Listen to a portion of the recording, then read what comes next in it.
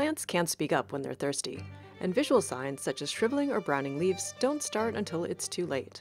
Metal electrodes have previously been used to monitor thirsty plants, but it's difficult to attach these devices to hairy leaves, which reduces their accuracy.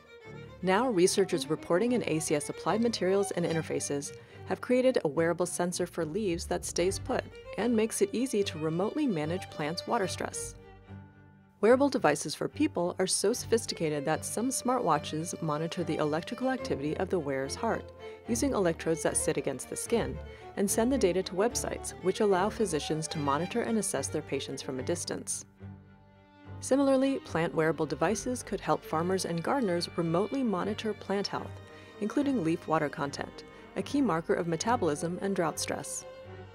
Renato Sousa Lima and colleagues wanted to identify an electrode design that was reliable for long-term monitoring of plants' water stress, while also staying put. The researchers created two types of electrodes, one made of nickel deposited in a narrow squiggly pattern, and the other cut from partially burnt paper that was coated with a waxy film.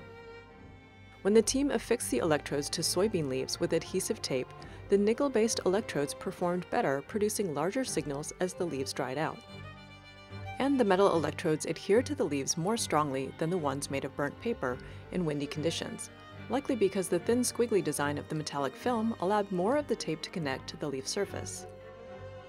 Next, the researchers created a plant-wearable device with the metal electrodes and attached it to a living plant.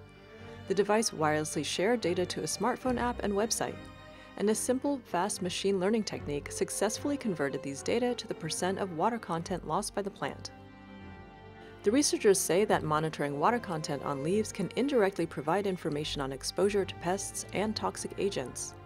Because the plant wearable device provides reliable data indoors, the team now plans to test the devices in outdoor gardens and crops to determine when plants need to be watered, potentially increasing yields.